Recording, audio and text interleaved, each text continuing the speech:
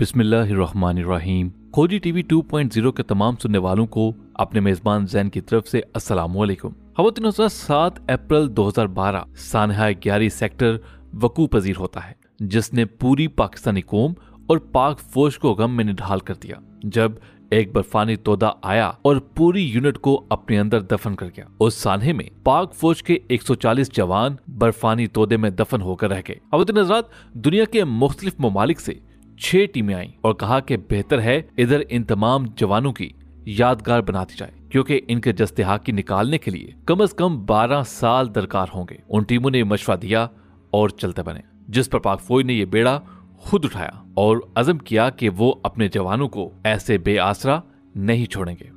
पाक फौज ने क्या हिकमत अमली एहतियार की? कितने दिन, कितने साल और कितना काम किया? और कैसे पाक फौज ने वो ऑपरेशन किया, जिस पर मगरबी ममालिक ने पाक फौज को जिन्नात की फौज करार दिया। आज की वीडियो में हम आपको इसी बारे में मुकम्मल तफसील से आगाही फ्राहम करेंगे। लेकिन उससे पहले, अगर आपने अभी तक हमारे चैनल को सब्सक्राइब नहीं किया तो सब्सक्राइब करके साथ लगी घंटी को भी दबा दीजिए। और नीज, एक दफ़ा ग्यारह सेक्टर के तमाम शुहदा के लिए सुरह फातिहा ज़रूर पढ़िएगा। जजाकल्ला खातिन हजरात ग्यारह में सिक्स नार्दर्न इन्फेंट्री का बटालियन हेडक्वार्टर बनाया गया था, जिसके जनूब में एक पहाड़ है जिस पर ग्लेशियर था और उसके सामने एक दीवार है जिसको रॉक वाल के नाम से याद किया जाता है। ग्यारह से नज़दीक तीन पोस्ट शुमाल में दो किलोमीटर के फासले पर थी, जबकि 18 किलोमीटर जनूब में गामा बेस है। ग्यारह में बटालियन हेडक्वार्टर उन्नीस सौ सतासी में कायम किया गया और अफसरों और जवानों को ऊंचाई की अगली पोस्टों पर भेजने से पहले यहाँ तैयारी करवाई जाती, ताकि वो अपने आप को मौसम के मुताबिक ढाल सकें। इसी तरह जो ऊपर से नीचे आते उन्हें भी यहाँ डीब्रीफ किया जाता। यहाँ लगभग 200 अफराद की रिहाइश मौजूद थी। अवत नजरात सात अप्रैल 2012 को इस यूनिट को अपनी तारीख के सबसे बड़े इम्तहान से गुजरना पड़ा, जब 6 और 7 अप्रैल के दरमियान शब एक बहुत बड़ा बर्फानी तोदा बर्ग रफ्तारी से बटालियन हेडक्वार्टर पर गिरा और 140 अफराद उसमें दफन होकर रह गए, जिनमें तीन अफसरान, चार लायंस नाइक 122 सिपाही और 11 सिविलियन थे। अवध नज़र रात दो बजे तक जवानों की अक्सरियत सो गई थी। सिर्फ़ गिनती के चंद लोग जाग रहे थे, जिनकी नाइट ड्यूटी थी, और उन्हें अब भी चंद ज़रूरी काम सर अंजाम देने थे।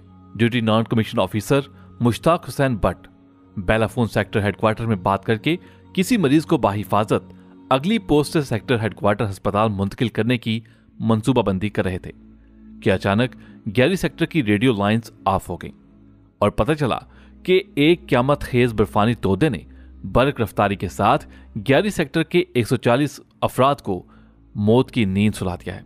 ऑफिसर कमांडिंग 107 फ़ील्ड रेजिमेंट आल्ट्री लेफ्टिनेंट कमांडर शाहिद अबड़ू और commander officer 144 medical battalion, lieutenant colonel Sheikh Hussain gamma emergency patrol party को लेकर ग्यारी पहुँचे और ये देखकर हक्का बक्का रह गए कि बटालियन हेडक्वार्टर ग्यारी नीस्तो नाबूद हो चुका था। हादसे की तला जंगल की आग की तरह हर तरफ़ फैल चुकी थी और 100 के करीब अफराद जमा होकर बर्फ़ के तोदे में अपने प्यारों के जस्ते हा की तलाश कर रहे थे। उस मौके पर commander F C N A ने लोगों से कहा कि हम अपने सब अजीजों को तलाश करने में कोई कसर नहीं उठा रखेंगे। बटालियन हेडक्वार्टर की हर शय 140 अफराद के साथ बर्फ़ के पहाड़ तले दफन हो चुकी थी। सिक्स एनएलआई सियाचिन के दो अहम सेक्टर्स का दिफा कर रही थी। इस बटालियन हेडक्वार्टर की वही अहमियत थी, जो एक जिसम में दिमाग की होती है। कमांडर के सामने उस वक्त दो बड़े चैलेंजेस थे। सबसे बड़ा चैलेंज 140 अफराद को मलबे से निकालना और दूसरा उस मुश्किल वक्त में अगले मोर्चू पर मौजूद जवानों के अजायम बुलंद रखना। खुशकिस्मती से ज़िंदा बच जाने वाले छह एनएलआई के सूबेदार, मेजर यूनस और रेजिमेंटल पुलिस हवालदार करीबी पोस्ट से फौरी तौर पर ग्यारी आ गए और वो दोनों वाकई यूनिट का असासा साबित हुए। कि वो 140 साथियों की जुदाई का गम, दिल में समेटे असाब शिकन साने के बावजूद भी उन तमाम अफराद की फहरिस्त मुरतब कर रहे थे, जो बर्फ़ के तोदे तले मदफून थे। दोस्तों, स्पार्को ने सैटेलाइट इमेजेस और स्टील फोटोग्राफी के ज़रिए बताया कि मलबे तले कौन सी चीज़ कितनी गहराई में कहाँ दफन है।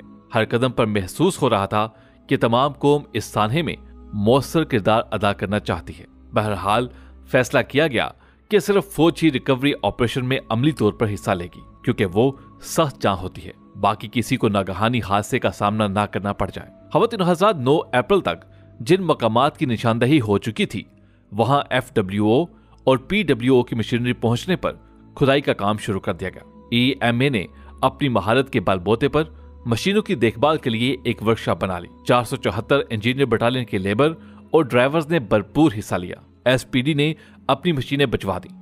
सिक्स एनएलआई का गामा में दोबारा बटालियन हेडक्वार्टर कायम कर दिया गया, जिसकी सरबराही लेफ्टिनेंट कर्नल सैयद अब्बास शाह ने की। 10 अप्रैल तक नए officer commanding lieutenant colonel Sadiq side पर तैनात कर दिए गए, जो तहैया किए हुए थे कि commander F C N A की सरबराही में काम करने वाले अफराद की मदद से यूनिट का नारा मैन एट देयर बेस्ट सच करके दिखाएँगे। पाक फौज के जवान ग्यारह के यह बस्ता माहौल में 14 से 16 घंटे काम कर रहे थे। उनकी सहूलत के लिए मोबाइल वर्कशॉप, सिग्नल एक्सचेंज तिबी अमदाद के कमरे और एक ऊँचे मुकाम पर दीद बानी के लिए इग्लू की सूरत एक पोस्ट बना दी गई। दोस्तों, दूसरी तरफ़ मीडिया पर इस कौमी सानहे पर दिन रात गुफ्तगु हो रही थी। कौम का हर शख्स दुआ गोथा के मलबे तले अफराद किसी न किसी तरह ज़िंदा निकाल दिया जाए।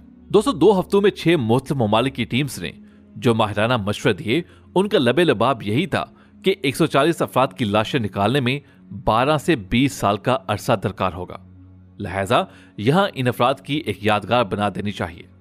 लेकिन आर्मी की टॉप लीडरशिप से लेकर यूनिट तक के लोगों का सिर्फ़ एक ही फैसला था कि हम अपने शहीदों के जस्ते हाकी निकाल कर ही दम लेंगे। मुसलसल कई दिनों से खुदाई और मलबा हटाने का काम जारी था। रोशनी का इंतज़ाम कर लिया गया था कि काम जारी रखा जा सके। मशीनों से काम रोक दिया गया था। और सिर्फ़ कदालों और हाथों से एहतियात के साथ आहिस्ता आहिस्ता बर्फ़ हटाई जा रही थी। ब्रिगेडियर साकिब इग्लू में नमाज़ मगरिब पढ़ रहे थे। सिक्स एनएलआई के मेजर फारूक काम की निगरानी और रहनुमाई कर रहे थे कि अचानक ग्यारह की फिजा, नाराय तकबीर, अल्लाह अकबर के फलक शगाफ नारे से गूंज उठी। मेजर फारूकी ने दौड़ते हुए इग्लू पर पहुंचकर कर्नल अबड़ू और ब्रिगेडियर साकब को इत्तला दी कि हमें किसी शहीद का जस्ते हाकी नज़र आना शुरू हो गया है। हवत नजरात, उनचास रोज के अंदर पाक फौज के जवानों ने अल्लाह की मदद से एक नामुमकिन काम को मुमकिन कर दिखाया था। शहीद का लाशा संतरी चेकपोस्ट से बरामद हुआ था। शहीद की जेब से उसका शनाख्ती कार्ड, जिससे उसकी पहचान सिपाही मोहम्मद हुसैन के नाम से हुई।